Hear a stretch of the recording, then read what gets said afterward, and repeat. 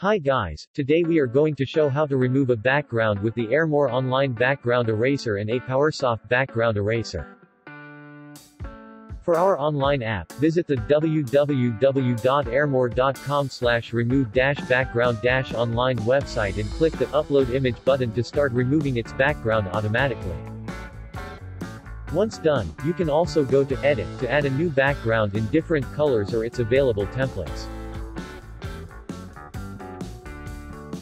After that, click the Download button to save the picture to your computer. For Apowersoft background eraser, to open the app, click the Remove Person background to upload the photo and remove the background instantly. Once done, you may add a new background by going to the Background feature. You can add a color or its template like summer break, profile, nature, and the likes on the edited picture. After that, click the Save HD button to save the picture to your computer. And that's how you remove a background with the Airmore Online Background Eraser and Apowersoft Background Eraser. Thanks for watching.